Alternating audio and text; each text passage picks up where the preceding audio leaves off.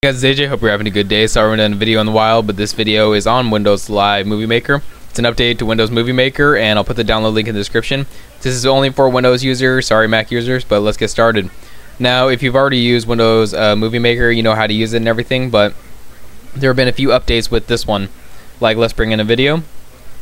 As you can see, the video, it goes in a streamline like this. You can actually take it out of the uh, as many times as you want to you can bring it back a little bit to show less of the video or more of the video in times. And if you want to add music in, you just bring it over, slide it in, and it automatically comes on. I know it may seem a little weird as to why it's not like in a time increment like it used to be, but I actually prefer this one over it just for the fact that you can, you know, slide it across, see it scene by scene.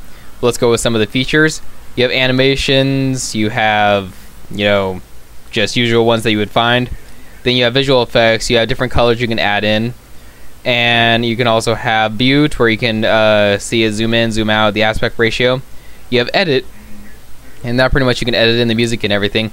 Now, my favorite part of this one right here, though, is that you can upload, you can publish the movie to YouTube or any other site as long as you install the plugin. But seriously, it saves it to your hard drive, then automatically just uploads to YouTube.